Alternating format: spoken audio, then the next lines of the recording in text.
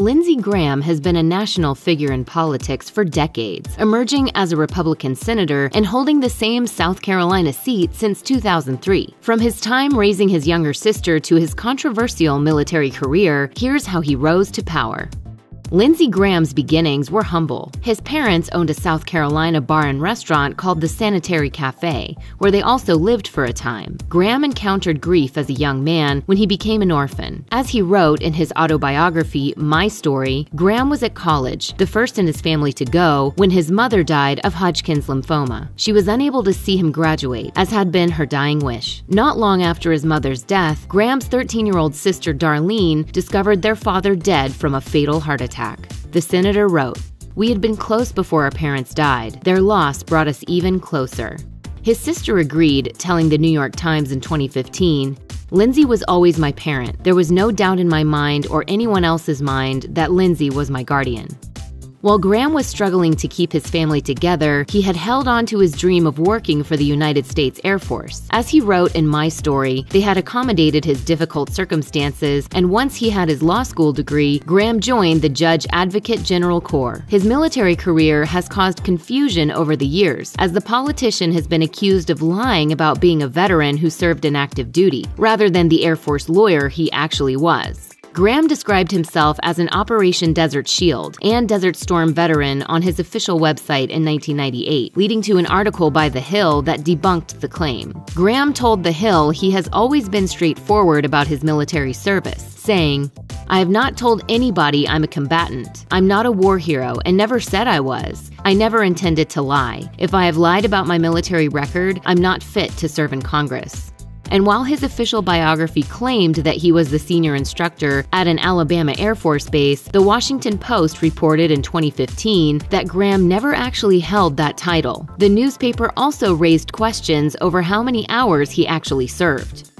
Although Lindsey Graham has reached the House of Representatives, he first emerged into the limelight when Bill Clinton's presidency began to implode. According to CBS, he was heavily involved in the trial process as one of the House impeachment managers, a role which required him to present the legal case against Clinton. Graham did show his moderate side by voting against one of the perjury articles and questioning how the scandal was treated. He was quoted in the Washington Post as asking a roomful of politicians, Is this Watergate or Peyton place. A video of him discussing the impeachment resurfaced in 2020, and it showed Graham arguing that Clinton should be removed. In the video, Graham argued that abuse of power should be a reason for impeachment, saying, What's a high crime? How about an important person hurt somebody of low means? That's not very scholarly, but I think it's the truth. I think that's what they meant by high crimes. Doesn't even have to be a crime. It's just when you start using your office and you're acting in a way that hurts people you've committed a high crime. Throughout his career, Lindsey Graham was a loyal ally to John McCain. When Donald Trump came into power, however, that relationship changed. As the New York Magazine reported, their friendship began after Bill Clinton's impeachment trial, when McCain invited Graham to his family ranch in Sedona. Fellow Republican Senator Steve Largent said Graham was dazzled by McCain's influence and honored to be a guest at their 4th of July celebrations. They worked together on policies like immigration reform and became close friends. John, uh, to me, uh, has one quality that is really special. He will fight for his friends. Graham has been criticized, however, for ignoring Trump's comments about McCain. Trump, speaking at a meeting in Iowa in 2015, insulted the former Navy pilot's experience as a prisoner of war, saying that McCain was only called a war hero because he was captured. I like people that weren't captured, okay? I hate to tell you. Although McCain never forgave those comments, Graham was willing to befriend the president. He even sided with Trump against his old ally during a 2018 vote over Obamacare. And although Graham gave an emotional tribute when McCain died from brain cancer in 2018, he still raised a few eyebrows by arranging for Jared Kushner and Ivanka Trump to attend the funeral.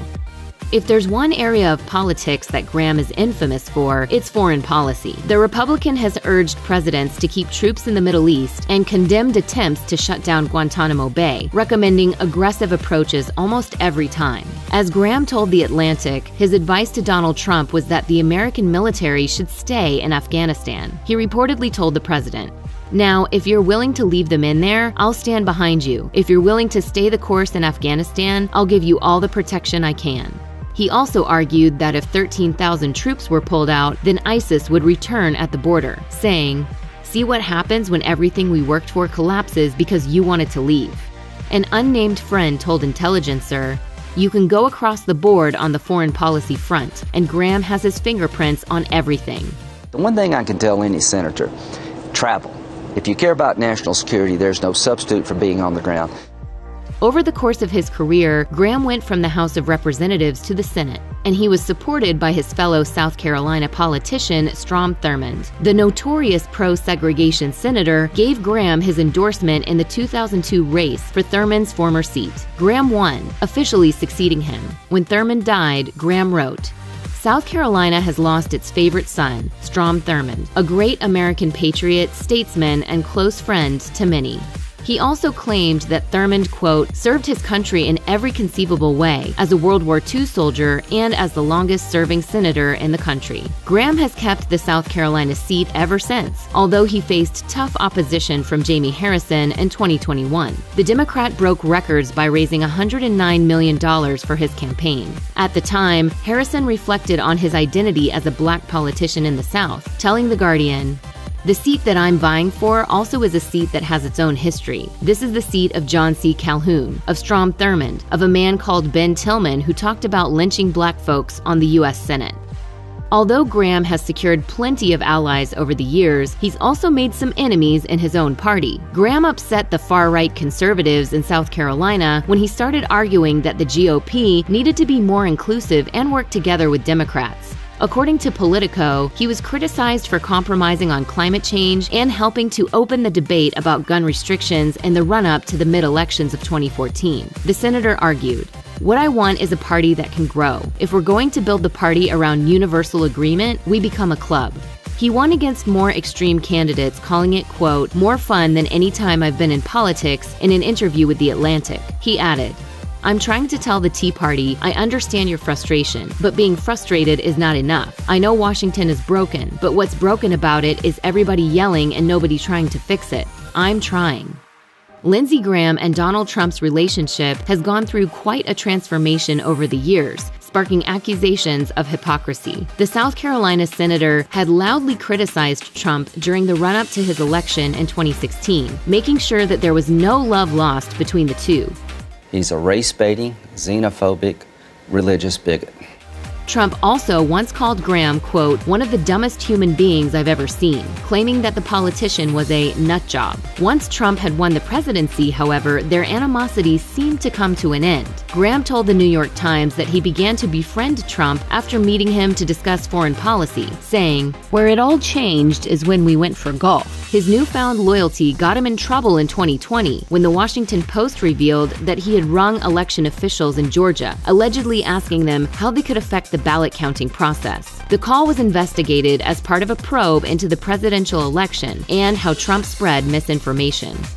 Graham's love life has raised eyebrows since he emerged in the public eye. If he had won the presidential election in 2016, the senator would have only been the third bachelor to ever reach the White House. In a phone call with The Herald, Graham claimed that his only brush with marriage happened in his late 20s when he considered proposing to a flight attendant who he met and dated in Germany. It didn't work out, but as he told Politico, Graham's young life was mostly spent taking care of his sister anyway. Discussing whether Darlene would fulfill the role of First Lady, Graham said, She's played a big role in my life. She's my number one fan. Of all the things I'm proud of, how she turned out, I'm proud of the most. I think most people are not worried about my marital status as much as what can I do for their family. Lindsey Graham shocked the world in 2015 by revealing how much of a technophobe he was. While discussing Hillary Clinton's leaked emails with NBC's Meet the Press, Graham denied even sending an email himself saying, I don't email. No, you can have every email I've ever sent. I've never sent one. Graham also notoriously only used flip phones for years, until Donald Trump gave out his number to supporters during a tirade about the South Carolina senator in 2015. I don't know if it's the right number. Let's try it 202. Graham told Politico at the time that he would probably have to change phones because he was getting so many calls, saying, When it comes to the Donald, nothing surprises me anymore. It's just too bad, really. Anyone in charge of defending the Capitol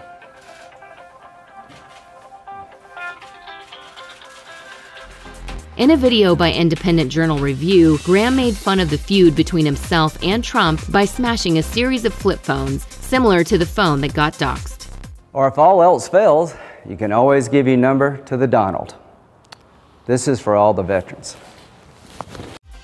In 2015, Graham expressed that his views on Caitlyn Jenner differed from some other members of the Republican Party, clarifying that he was, quote, into addition. Speaking to CNN's State of the Union, Graham said he'd be happy to welcome Jenner as an ally, saying, I'm a pro life, traditional marriage kind of guy, but I'm running to be president of the United States. If Caitlyn Jenner wants to be a Republican, she is welcome in my party.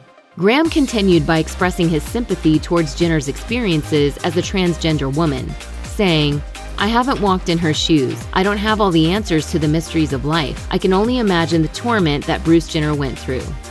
I hope, he's, I hope she has found peace. In 2021, Jenner announced that she was running for governor of California, and she has been open about her Republican politics over the years. Jenner told students at the University of Pennsylvania in 2016, I have gotten more flack for being a conservative Republican than I have for being trans. Lindsey Graham may be double vaccinated, but that hasn't stopped him from catching COVID 19. He tweeted about it, writing, I was just informed by the House physician I have tested positive for COVID 19, even after being vaccinated. He added that he was experiencing flu like symptoms. After going to the doctor, it was confirmed that he had a breakthrough case of the virus, making him the first senator and the second member of Congress to test positive against the odds. Graham still advocated for vaccines, explaining that his symptoms would likely be worse if he hadn't received his jabs. In an interview with AP News, Graham claimed that he had recently urged Donald Trump to encourage his supporters to get the jab, saying, no one's being asked to go off to fight radical Islam or fight a foreign enemy. We're being asked to make responsible medical decisions. Take the vaccine. Check out one of our newest videos right here. Plus, even more Nicki Swift videos about the latest hot topics are coming soon. Subscribe to our YouTube channel and hit the bell so you don't miss a single one.